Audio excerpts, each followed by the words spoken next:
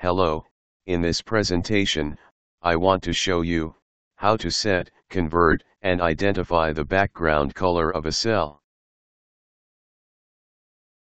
In this table, in column D is the formula, that converts RGB data in hex code. In column F, is the formula that converts, hex code from column D into RGB code.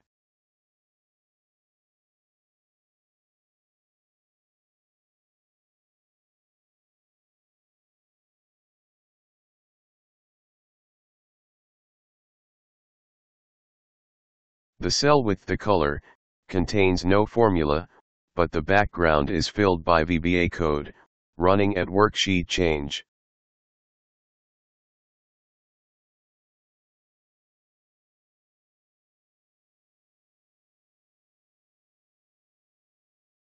This cell, is colored by conditional format formula, using adjacent cell value.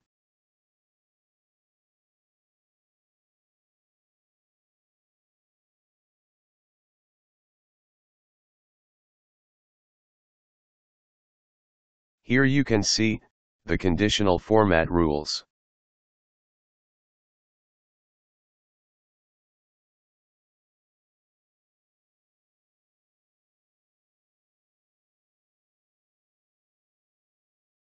When I change the cell value, from 0 to 255 range, the corresponding cell in column E, is automatically colored and formulas updated.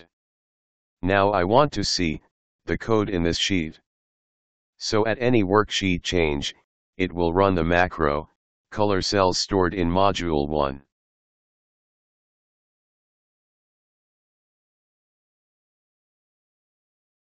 This macro, will update the color, of the cells in column 5 till last filled row with values in columns 1 to 3.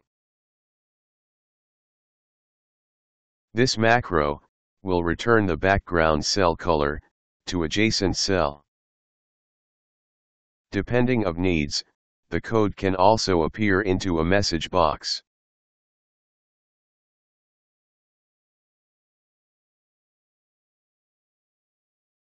This is another macro, that determine the hex code of the active cell background color, and puts it adjacent cell.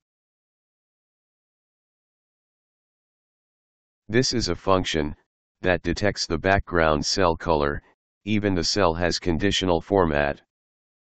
Now, this macro will return the RGB and hex code, detected in the function, and puts them into adjacent cells.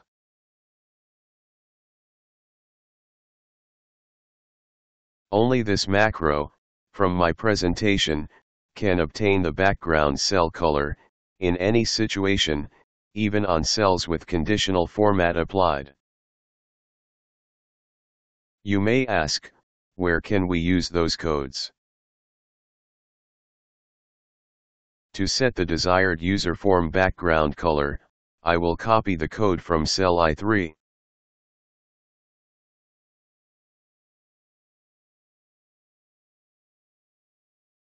Next macro, will set the RGB color for cell G3. I hope you will find this presentation useful. So you can use and adapt this code as you need.